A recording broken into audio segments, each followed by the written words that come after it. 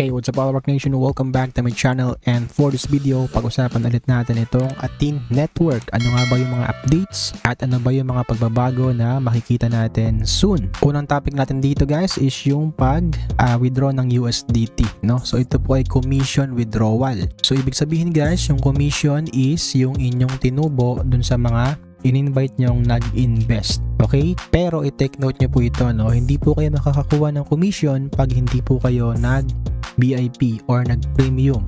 Yun po yung pinaka-requirements bago kayo kumita dito. Okay? Magkaroon ng commission. Pero ako guys, hindi pa ako nag invest kaya wala po ako makukuha commission kung nag-invest po kayo dito sa atin network. So kung hindi nyo pa na-update yung application nyo guys, update nyo na. Punta lang kayo sa wallet ninyo at punta kayo sa withdraw. Pwede nyo na pong i-withdraw yung USDT ninyo. Ayan, so enter nyo lang yung amount dito kung magkano, tapos yung wallet address ninyo. So pwede nyo gamitin guys yung MetaMask and i-take note nyo po under BEP20 or Binance Smart Chain lang po ang pwede. So pwede nyo pong gamitin yung Binance account niyo yung pinaka-exchange. Basta may Binance Smart Chain Network, pwede rin naman MetaMask, Trust Wallet, basta BEP20. So hindi po Ethereum Network. Another update is yun nga no, yung ating pag-block or lock ng ibang account guys due to cheating. So marami daw nag-cheat sa GEM at ATH. So I think kasama dito ang may mga multiple accounts. And andito po sa Google spreadsheet nila yung mga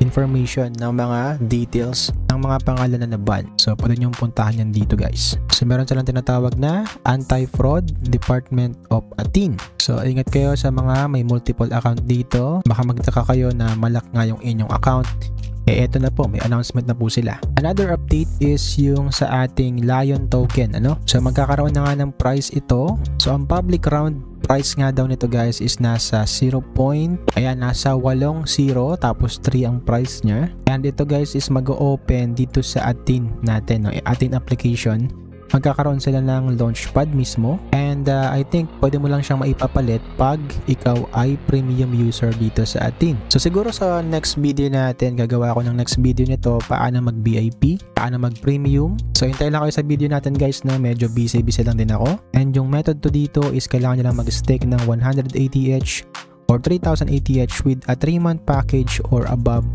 on the atin app. So kayo yung bahala guys kung magpa-participate kayo dito sa Lion token nila. Ito ay isang meme token guys. And ito ang pinakamalapit na update nila guys no. Makikipag-partnership po sila sa Pi network. Okay, so ito po yung magiging itsura ng P2P natin. So person to person trading guys ito ano. So coming soon is makikita nyo na po itong P2P trading natin. And hindi ko lang alam guys no baka mamaya yung Pi network natin or Pi token pwede natin ipalit sa atin ETH or sa ating gems. We don't know pa ha. So malalaman natin yan in the upcoming updates na mangyayari dito sa ating. So ayun guys no, parang mapupush ako dito na makapag-invest or bumili ng premium dahil hindi tayo makakapag-join dun sa pagbenta ng Lion kung wala tayong uh, ah, VIP or premium dito. And then parang may mga nag-report na din sa akin about dun sa ating KYC ano. So parang kailangan nyo nang mag-premium nga daw bago kayo makapag-KYC. Parang sabi naman nila nung nakaraan is okay lang naman kahit walang invest investment. Pero yun nga, no, parang mas required tayo na makapag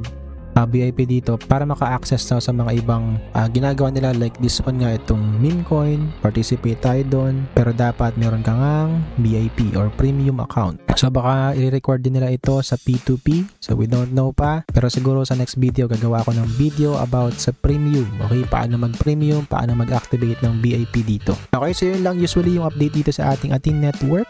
Hoping nagkaroon kayo ng information and idea. Sana po is nagustuhan nyo kahit papano sana po is na-like ninyo Don't forget, kung hindi ka pa nakasubscribe, mag-subscribe ka na.